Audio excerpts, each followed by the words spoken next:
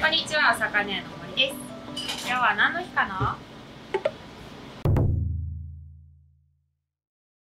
今日はね、なんと夏の風物詩、天然うなぎをですね、なんといただきましたので、うなぎにね、挑戦をしたいと思います。湯飲み企画にもですね、うなぎがあるので、いつかチャレンジしなきゃいけないなと思いながら、私、うなぎってまださばいたことないんですよ。なので、今日はいただいたきっかけもあるのでチャレンジをしたいと思いますただねかなり難易度が高いと思うので今日は助っ人を呼びました名古屋で有名なあの大社長をお呼びしておりますということで社長お願いします伺っております。音引商店代表取締役森でございます。はいじゃあ。我が社の娘でございます。社長であり父でごはい、よざいます、ろしくお願いします。今日は先生よろしくお願いします、い。や、みんなやってください。え？教えてよ。おお見てこれ。おお元気だね。あイケメン。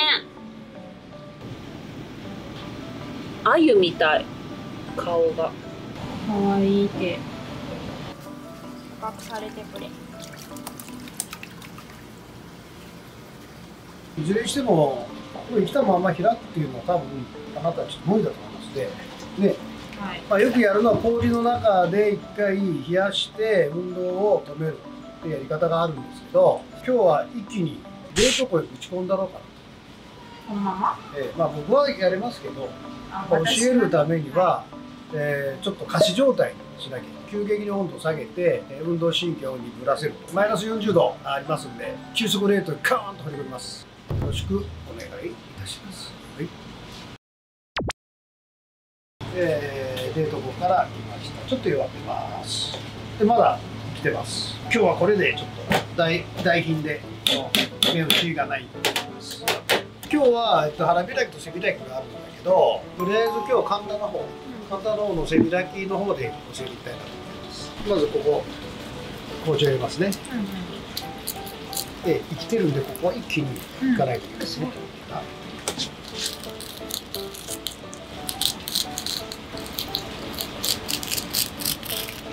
うわーすごい。綺麗。めっちゃ生きてるすごい。でここに肝が肝があります。これ肝水とかの。うんね。こう。ここまでこういう感じで来てここからねうんああし開いちゃったね。こういう感じでゆっくりすごい気がいいねわーすごいさすがいやちょっと食べたいところですね身がまだ生きてるもん。すごいねこの状態でさばけるのまだ生きてる身がほらピクピクしてるの分かるすごい油がテカテカ出てるねこの美味しそう。綺麗だね。うなぎが自分がどんな状態になってるのかなっていう気づかないうちに一気にさばくのがポイントかなと思います。じゃあまだ生きてると思ってるのこの人は。まだ本人はまだいけると思ってますよ。であとこれ肝ですね。苦玉っていうのがね苦い。多分ちょっと苦いんでこいつを先にこれ潰します。ね苦玉。これ出ました。これ。ね。これきれいに洗ってうなぎの血は毒があるっていうけどなんか気をつけることある。まあね、まあ、まあ、ご自宅でさばくようなことがあるんであれば、なかなか難しいんで道具もいるんで、近くの魚屋さんにお願いして開いてもらうか、もしくは、えー一気にさっき言ったように凍らして動きを止めてからぬるみをしっかり取ってそれでやったらできると思います。それでダメだったら一歩ください。軽くてここまでクックてここから綺麗な下はい。こっちで入った、たで骨分かった？うん。そのゆっくりで。も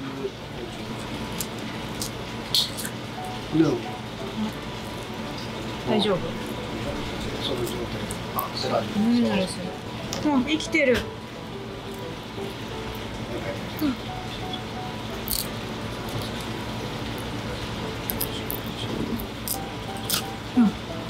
難しい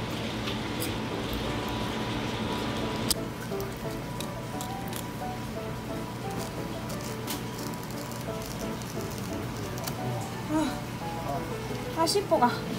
難しい。うん。オッケーオッケー。うわ。めっちゃ動く。ちょっと静かにして。あー難しい。うねうね。こう。あそういうことか。そっかそっか。修正せんのすごい動きが。うん。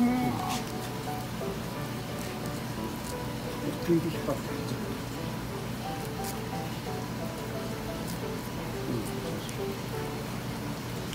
あー動かないで。あー動かないで。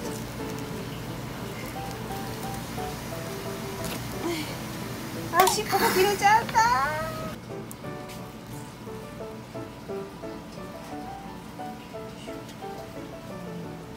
は、ね。すごい。全然太さが違う。これの半分ぐらい。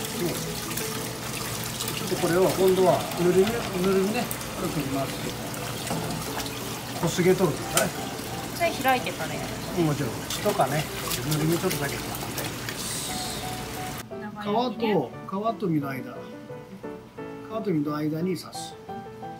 節はなるだけ放射線状につってこういう感じでね。センスみたいそうすると持つとこが一箇所で持てるよね。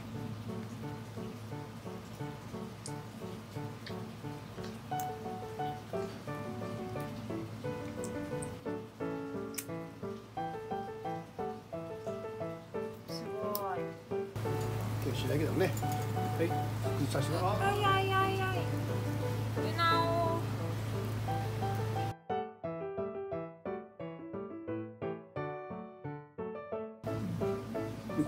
よ。うな感じすごい。すごい身が生きてる。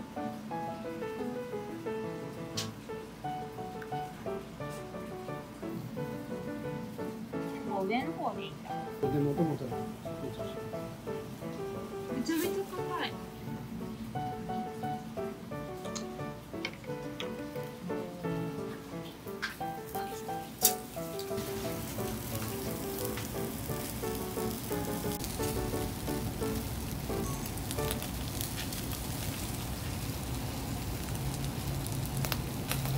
じゃあせっかくなので肝水も作っていきます。お水に肝が浸るぐらいまで入れてこのまま電子レンジで30秒ずつちょっとこまめにチンして。いきますでは。じゃあお吸い物の地を作ったのでここに肝を入れていきます。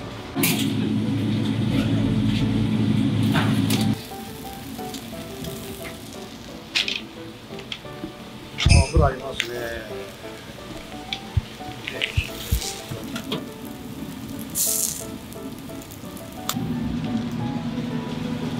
ちっちゃいけどうまそうだね。生きが良かったもんね。タマーで取って進まないじゃあ切っていきます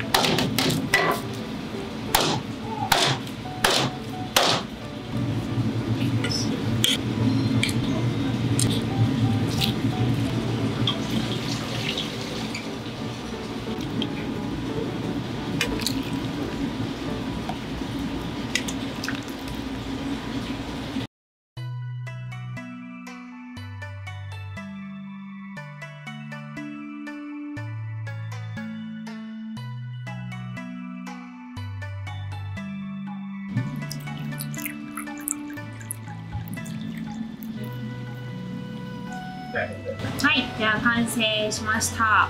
ということで今日もお魚に感謝をして魚に感謝しいただきます。どうぞ。社長はね、こんなでかいですはいはい、こんなにでかいです。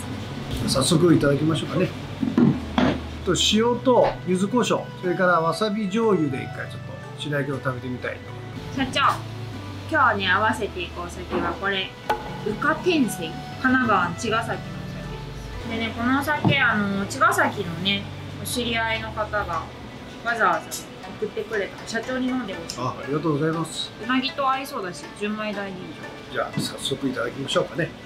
さあということで。じゃあ今日はお疲れ様でした。お疲れ様でした。ご視今日も仕事は休みなんで実は、はい、いただきます。おあ飲みやすいね。美味しい。うなげやっぱり美味しいとこはもう尻尾だね。カリッとして。醤油でいってみます。わさび醤油でいきますね。いただきます。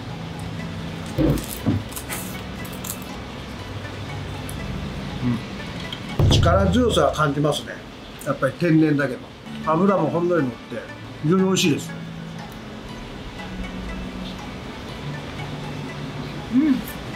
ごいよ。身身がねしっかりしてる。いいですか？いただいてどう。ぞそれパリッと焼けてる。違うね。ちっちゃい方いきます。あ。柔らかいね。でも食べ応え こっちは力強い。こっちはほわっといっちゃう。これ釣ってからだいたい2週間ぐらい泥を吐かしたっていうのを聞いてたんでやっぱ臭みも何もないね。うん。臭くない。美味しい。うまで社長はさうなぎはさいつさばいたの？初めいて19、19? うん、今みたいにこう白焼きうなぎとかそれ蒲焼きうなぎとかまずなかったんで全て自分たちで生を買ってそれ全部開かなきゃいけなかったんでそれも美味しい。なんださっき美味しか。った、ね。結構かば焼きだとそのタレの味がで満足しちゃうけど。だから本当にねあの照り焼き蒲焼きするより醤油だけでさっと焼く。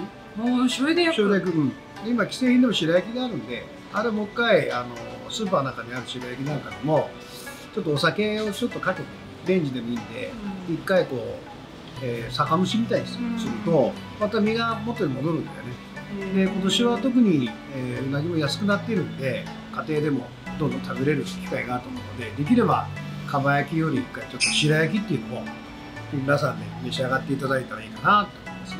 で白焼きもねこうつまみとしてどんどん普及していってもらったらいいかなと思いますね。ね知ってる？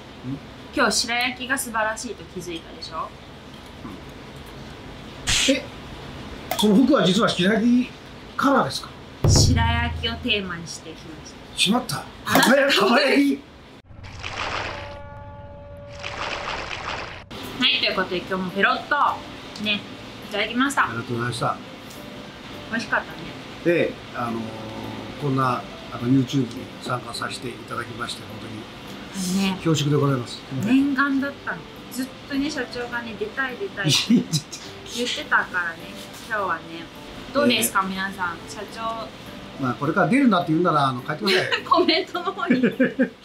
もういらんぞと。たまに社お前はバックオフィスでいいぞと。言われややりますんでそれ。また皆さんの感想を教えてください。今日はねちょっと家族だけどもコロナのね関係でソーシャルディスタンスしてみました。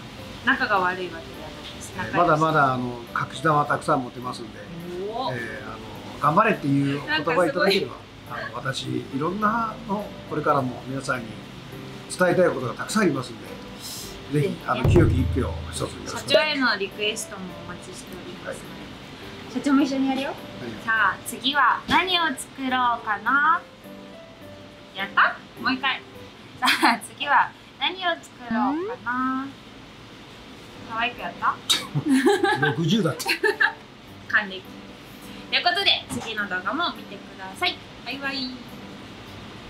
バイバイ